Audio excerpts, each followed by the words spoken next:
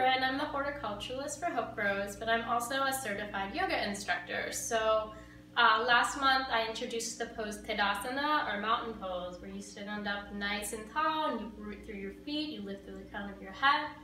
But this month I'm going to introduce to you a way to lengthen or extend the spine and provide relief to the stiffness in the back, which we hold a lot of during the day, especially if been, we've been sitting or um, at a, especially at a computer and a car. So um, the pose I'm going to show you I call Half Dog.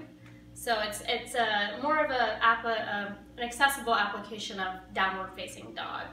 Um, so two, the first way I'm going to show you is uh, we'll take this chair and you can use the seat of the chair, but I'm going to show it with the back of the chair.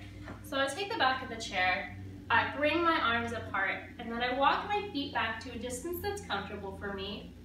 And then I'm gonna bend my legs I'm gonna start to extend my spine forward and the legs can stay bent here as I reach the crown of my head forward, feeling my ribcage extend forward as my hip heads pull back.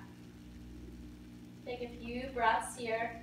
Keep the knees soft if it starts to strain the low back. And then the other variation I like to do, which sometimes gives you traction for the spine, is using a kitchen sink.